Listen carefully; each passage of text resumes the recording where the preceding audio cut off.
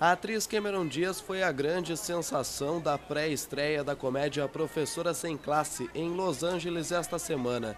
O filme estreia nesta sexta-feira nos Estados Unidos. Tomorrow? Is tomorrow Saturday? No, it's the first day of school. Yeah, I'm not gonna go to that. Cameron Diaz interpreta no filme uma professora desbocada, sem noção, alcoólatra e que fuma maconha. Na história, ela busca conseguir um marido rico que a sustente. Em entrevista, a atriz disse que acha que o público vai simpatizar com a personagem porque ela é honesta.